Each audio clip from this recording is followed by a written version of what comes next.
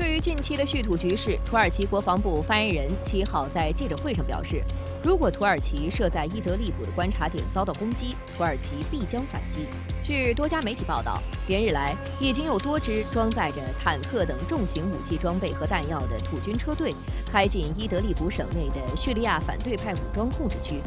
伊德利卜省位于叙利亚西北部，与土耳其交接。是叙利亚反对派武装和极端武装在叙利亚境内的最后一块主要地盘。二零一八年九月，俄罗斯总统普京和土耳其总统埃尔多安在索契会晤，双方决定在伊德利卜省的叙利亚政府军与反对派武装之间建立纵深十五至二十公里的非军事区。根据协议，土方以监督停火的名义，在伊德利卜设立十二个观察点。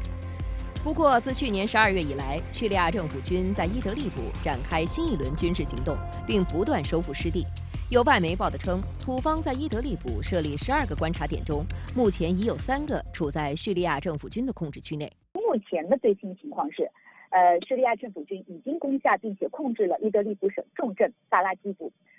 土耳其在这个地区也设有军事观察点，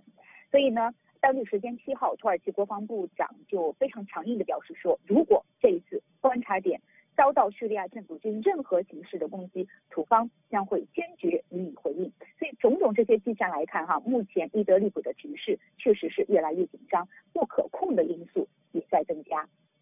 鉴于叙土在伊德利卜的冲突升级，土耳其外长恰武什奥卢七号表示，俄罗斯军事代表团于八号抵达土耳其，就近期伊德利卜的局势举行会谈。恰武什奥卢表示，会谈旨在阻止叙利亚政府进攻，防止出现人道主义灾难。Bir heyet Türkiye'ye geliyor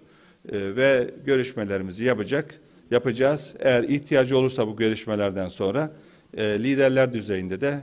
görüşme konusunda zaten Cumhurbaşkanımız Erdoğan ve Putin mutabık kalmışlardı. 所以从上述的这些信息来看呢，土方似乎也并不愿意让局势升级甚至失控，因此此次对话两国可能会尽一切的努力来达成某种妥妥协，不让在伊德利卜的冲呃冲突升级为实质性的冲突。 前我们注意到，土方已经在不断的增兵土叙边境。不过，专家也指出说，他们认为土耳其真的对叙利亚进行全面的军事干预的可能性并不大，应该这更多的是一种呃预防性的措施。目前，无论是土耳其还是叙利亚的政府军，都会在相关的地区更加的小心谨慎，来避免擦枪走火的可能性，确保土耳其在伊德利卜观察点的安全以及自由的这种行动呢，应该也是这一次俄土代表团对话的一个主要内容。路透社报道指出，伊德利卜战事已经导致五十多万当地居民被迫逃离家园，土耳其方面担心新一波难民会涌入土耳其。